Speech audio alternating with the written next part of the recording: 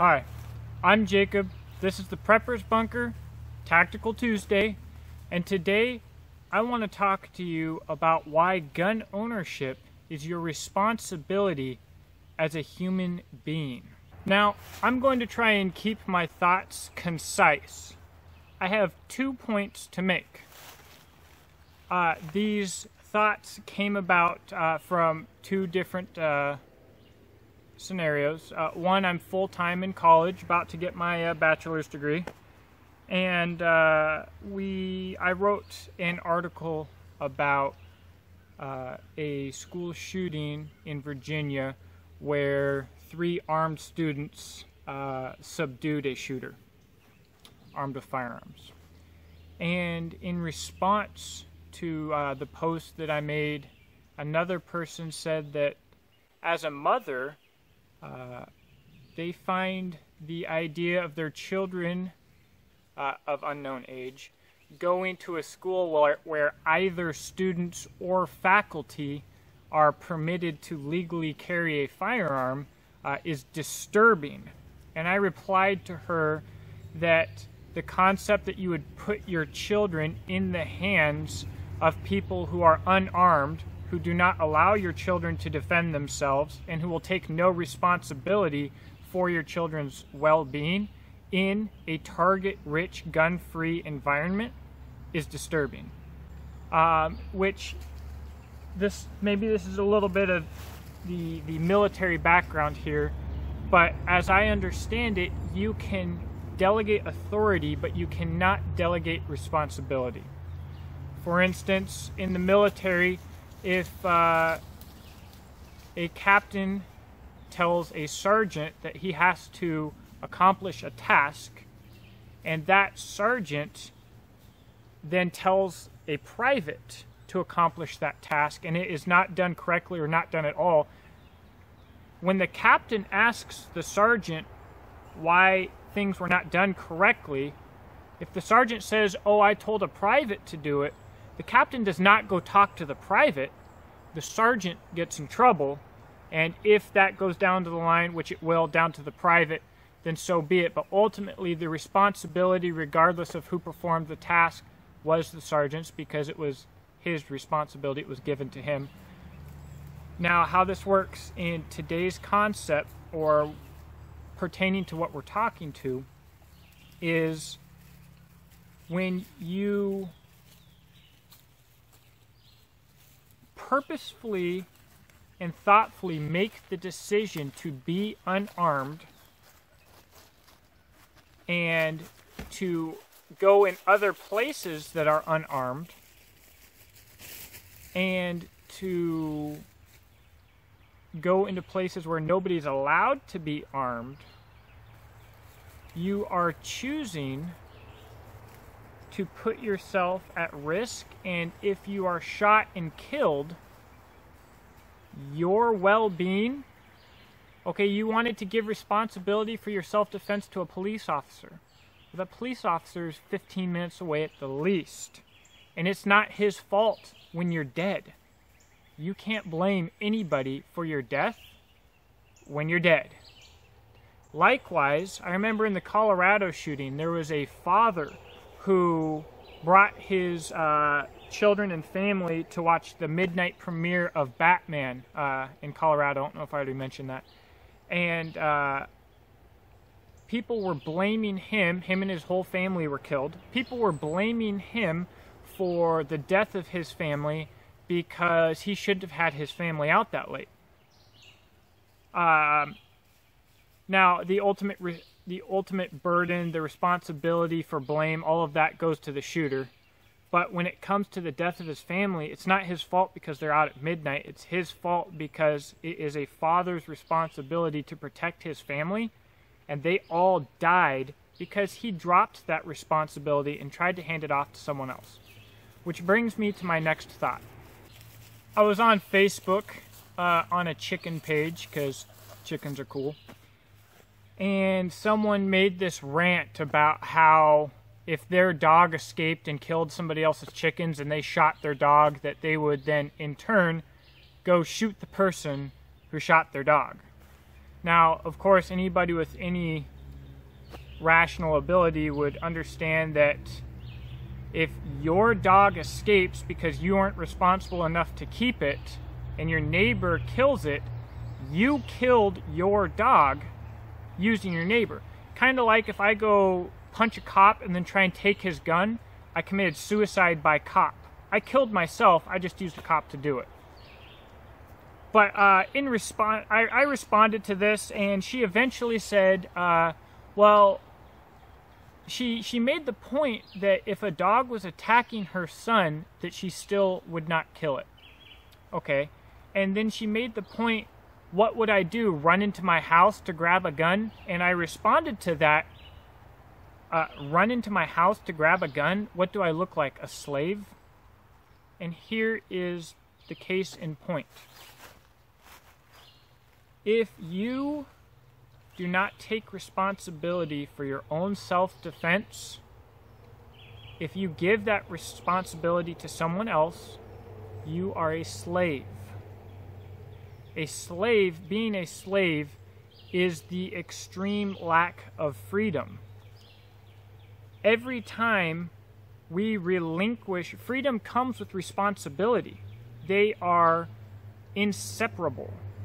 When you give up your personal responsibilities, whether it's for going to a job and making money, health care, food, the right to defend yourself, the right to defend your property, whatever it is, when you give up that responsibility, you are becoming a slave to the state. At this point, you are livestock. You are literally an animal that is breeding and being bred for the purpose of generating revenue for the state. Now, the problem here is that the reality of the Second Amendment and the reality of what's left of our freedom in America has been demonized. And my example of that is when James Yeager said that, uh, to summarize, if things were to get worse politically, if uh, they were looking to confiscate guns or pass further gun laws, whatever, that it was time to pack up your bug out bags and start killing people. Okay. And the whole gun community, gun community, jumped on his back and ostracized him and uh, basically just hate him for saying that because uh, they want to say that makes him look like an extremist. They say that uh, sensible gun control is the answer. Uh, and a lot of people within the community think that people shouldn't be able to carry guns unless they've had X amount of training or meet X requirements. Here's the problem with that we have allowed ourselves as American people and as patriots to accept a watered down definition of our Second Amendment where it somehow has to do with self defense. Your Second Amendment rights have absolutely nothing to do with your self defense. It has absolutely nothing to do with your concealed carry permit. Having a concealed carry permit is contrary to the Second Amendment. The Second Amendment exists so that when your government steals your responsibilities and your freedoms, you have the right to overthrow that government. That's why you have the Second Amendment. Show me a time in history where a well armed and well trained population was repeatedly and constantly abused by its government, I guess outside of us here in America today. People act like communism and statism has never actually been done before, this, that, and the other thing. The only thing that's never been done before is people actually having freedom and government actually being small. So, the only thing that keeps our freedom in America is the fact that we are armed because the government does not want to die. When our founding fathers created this nation, they knew that governments had their own interest in mind, were self defensive, and to be self defensive was contrary to an American people being self defensive. Abraham Lincoln, when the government fears the people, there is freedom. When people fear the government, there is tyranny. Everybody and their mother is afraid of their government, afraid to do whatever they want. We live in a nation that has accepted its own slavery. And in fact, on the topic of slavery, we have we continue to have laws in Democrat areas with strict gun control that were created specifically to keep guns out of the hands of black Americans. Look at North Carolina's uh, uh, handgun permit. Okay, it was specifically created to keep guns out of black hands. And yet, the Democrats continue to support these bills and the people don't understand enough about their own freedoms, that or they don't want freedoms because the responsibility associated with it, to get rid of these people and get rid of these laws. So, what we have today is we have a massive, uneducated, irresponsible body of uh, ignorant people who are lazy who do not want to take responsibility for themselves, like the mother in question from my school post, don't want to take responsibility for their own safety, don't want to take responsibility for anything, who support these laws without understanding what they entail, who uh, have no concept of history, have no desire to have any concept of history, have no concept of the politics at hand that are going on today, but understand uh, they they understand about guns in a context of what they see in Hollywood, and they understand their emotions. They are emotional thinkers. They cannot self-actualize, and this majority of our population is incredibly willing to give up every freedom and every responsibility so that they can be more ignorant and more lazy education is the key. Educating our children how to properly use firearms safely and educating our children on history and educating our children on why our freedoms exist as they exist. The problem is, and I don't understand why, why nobody can figure this out, the second that we give that education over to the federal government, which is self protecting, all of a sudden we don't know crap about history. We don't know crap about our own government or politics or how things work.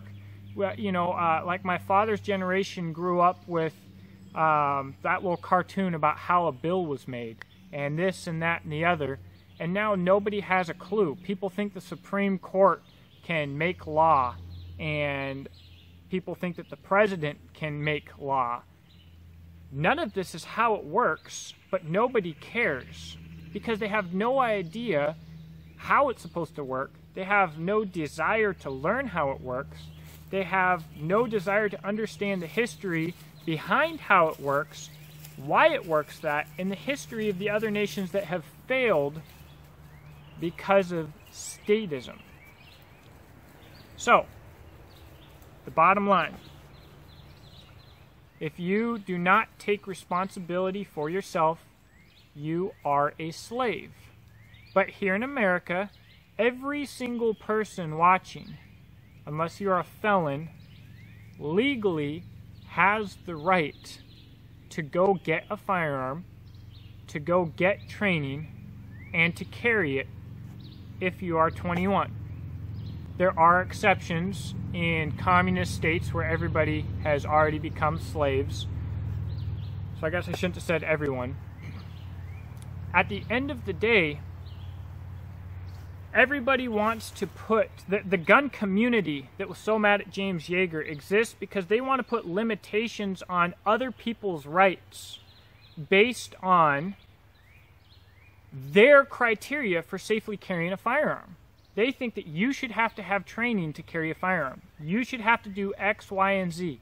you should be X, Y, and Z. At the end of the day, every single person has a right to carry a firearm. It is a God given and unalienable right to self defense of yourself and your property. Again, that's protected by the Second Amendment, but that's not what the Second Amendment is about.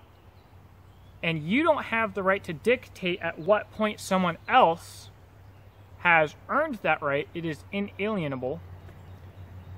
You don't have the right to say what training they have to have. The government doesn't have the right to say what amount of training they have. And the problem is the gun community, these people who are supporting sensible gun control laws, concealed carry laws, etc., etc., are empowering the enemy who is disarming the American people because if they can put their criteria on who can carry and when, well, why can't why can't the Democrats, the socialists, the communists, it's all the same thing, why can't they put criteria? Oh, you have to be in the military, you have to be a police officer, duh, uh, duh. As if police officers have excellent firearms training they absolutely do not, as a general rule, or even military has any amount of training for carrying in a civilian environment. They don't. So the gun community yells at people like James Yeager or myself and says that we are empowering the Democrats and taking away our guns and gun rights because we sound too extreme. Now, by the way, this sounds like a lot of Christians today, but that's for a whole different deal. The reality is that they are empowering the enemy by placing standards on others that they don't believe should be had for themselves. That's what this all boils down to. Everybody thinks that they have the right to carry a firearm, but they're not so sure that their neighbor does. So they're okay with legislation that might disarm their neighbor. That's why repeatedly we see Democrats who do conceal carry, who do murder people, even illegally, conceal carry illegally, obviously murder is illegal, who are in arms trade themselves because they believe that they have the right, they can do it, but they're not so sure about you. So at the end of the day, take responsibility for yourself. When I walk into town, First off, I'm not going to gun-free zones. So if your store is a gun-free zone, can I carry into it and not get caught? Yes. Am I going to? No, because you don't deserve my money. You deserve to rot. But don't go to gun-free zones. That's the other thing. Everybody recently is all freaked out about this terrorist attack at some anti-American, commie, refugee-loving, freaking hippie pop singer place. It is sad that those people died, but uh, how about take responsibility for your own well being and don't go to gun free zones? How about arm yourself? How about get trained? Everybody is talking on social media right now about how terrified they are.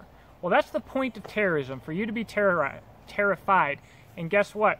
You're terrified because you would rather die than take responsibility for yourself, you slave farm animal. Let me know what you think in the comment section. Love having you guys. I'll have to do another video or 10 probably to explain or extrapolate on what I've said, what might be wrong or what might be misunderstood. Whatever. Um, have a great day. Thanks for watching.